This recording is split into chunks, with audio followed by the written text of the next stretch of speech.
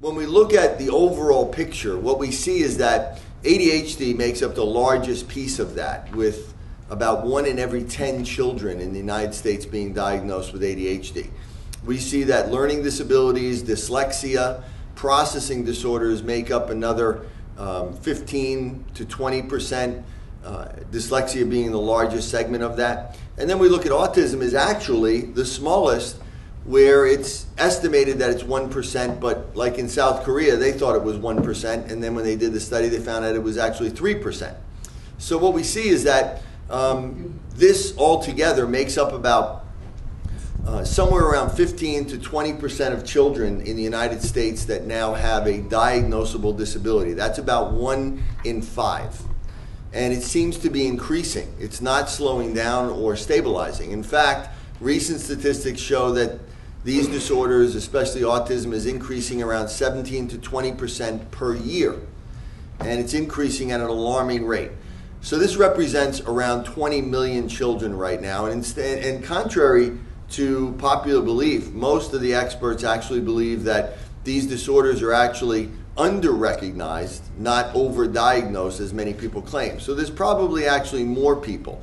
Most of these children qualify for schools for special ed services and so when we look at the numbers, we're talking about, like I said, roughly 20 million children. But if it's increasing at about 20% per year, that means in five years that'll be double. So that means we're looking at 40 million children. In 10 years, we're looking at doubling again at about 80 million children. And that, if, it's, if it doesn't increase at an accelerated rate, which many people believe. When we look at the costs that are associated with it, that's dramatic. Um, we know that recent government statistics show that the average family of a child with ADHD is spending somewhere around $15,000 a year to maintain that problem with direct and indirect medical costs.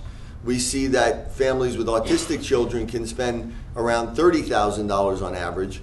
Um, and I've seen a wide range. I've seen people that have spent a couple of hundred thousand dollars and people that spend very little. But even if you're only doing medication, that can be a, few thousand dollars a year. So we see that for the average family uh, that has a child with a disability, that it can be economically a great burden. In fact, what has been shown is that um, in most families that have a child with a disability, like ADHD, that child is actually their single largest cost. It's more than their mortgage payment. So that's a huge burden on our families. What we also see is that our school systems, when we have a, school, a child that qualifies for special ed services, that costs the school district probably somewhere between sixty to eighty thousand dollars per child per year. Actually, New Jersey has one of the highest rates in the cost for children with special ed. Some of it is as high as $110,000 per child per year. Now, who pays for that? The taxpayers, right? So, not just families with children with disabilities, but everybody bears the burden of that cost. What we also see now, which is alarming because we can't afford this anymore, is we see that special ed services are the first things to be cut in most K through 12 programs across the country. And everywhere I go, I see that these programs are being decimated, that um, they can't keep up with this avalanche of children that, that is being funneled their way, and they're overwhelmed the uh, teachers are working hard, but they're uh, understaffed, they're underpaid, they don't have the resources, and there's too many children. Um, the OTs, the PTs that are working in the school systems, I hear everywhere I go how overwhelmed they are. I was in Minnesota um, a couple of months ago, and a woman came up to me. She was an OT. She had read my book. She was really great, and she said, "You know, uh, I'm in a school system right now where my national organization says I shouldn't have more than 55 cases at a time. I have 75 cases, and I have a little room. I have a little closet, literally a closet that they converted into an OT room. And I have the child for an hour a week. What am I going to do with this child? What, how am I going to how am I going to keep up with this? I can't do it. So you know, she was happy that there were other people in the community uh, with the Brain Balance Center coming in that could help share the load. And that's really what we're all about.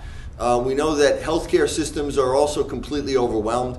Doctors have less time to spend with children, um, and you know they're not going to make more effort to understand this. They're just going to prescribe medication. That's it because that's all they really have time and what they're getting paid to do.